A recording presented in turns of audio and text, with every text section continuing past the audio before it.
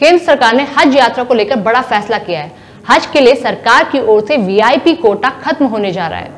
पहले हज यात्रा को लेकर कुछ आरक्षित सीटें दी जाती थी, जिन्हें कि अब खत्म कर दिया जाएगा। इस कदम के बाद हज जाने वाले सभी लोग आम यात्रियों की तरह ही यात्रा कर सकेंगे।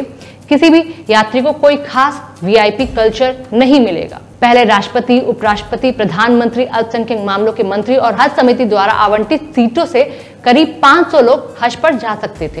राष्ट्रपति कोटे से 100, उपाध्यक्ष कोटे से 75, पीएम कोटे से 75, अल्पसंख्यक कार्य मंत्री कोटे से 50, हज कमेटी ऑफ़ इंडिया को 200 सीटें मिलती थी। लेकिन नई हज नीति के मसौदे में अब इसे खत्म किया जा रहा है। अब सभी हज यात्री, हज कमेटी और निजी टूर ऑपरेटर के ज़रिए ही यात्रा कर सकेंगे। हालाँकि अभी तक इस नई हज नीति को लेकर कोई औपचारिक घोषणा नहीं हुई है। हाल ही में सऊदी अरब ने तीन साल से हज करने वालों की संख्या पर लगे प्रतिबंध को हटाने का ऐलान किया था। सऊदी अरब के इस फैसले के बाद जितनी तादाद में कोरोना महामारी से पहले जायरीन हज करते थे, अब वो उतनी ही संख्या में हज के लिए जा सकेंगे। इसके अलावा सरकार ने आयु सीमा के प्रतिबंध को भी हटाने का ऐलान किया था।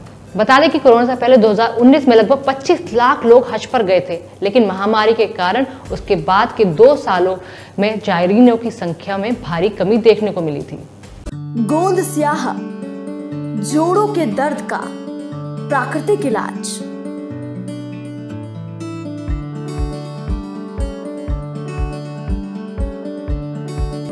गोंद मोरिंगा, चमकती त्वचा और सुंदर घने बालों का राज।